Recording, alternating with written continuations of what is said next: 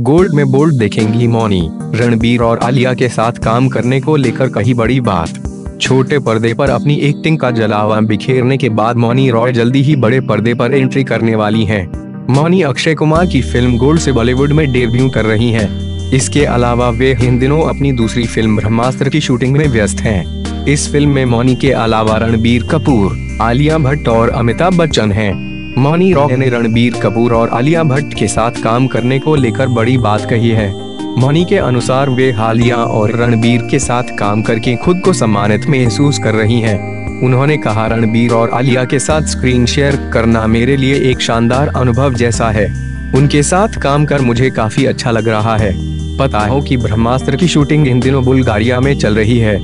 मोना रॉय ने बुल्गारिया में अपनी इस फ़िल्म की शूटिंग के अनुभव को भी साझा किया। उन्होंने कहा कि बुल्गारिया के कम टेम्परेचर में काम करना एक एक्टर के लिए बहुत मुश्किल है। यहाँ ज़्यादातर टाइम टेम्परेचर 17 से 18 डिग्री सेल्सियस होता है। आपको बता दें कि मौनी रॉय फ़िल्म ब्रह्मास्त्र में नेगेटिव किरदार में नज़र आएँगी। बीते दिनों मौनी रॉय को लेकर इस बात की अफवाह थी कि वे सलमान खान की अपकमिंग फ़िल्म दमबक टीन में नज़र आ सकती हैं, लेकिन इन सभी बातों को खुद मौनी रॉय केवल अफवाह बताया है।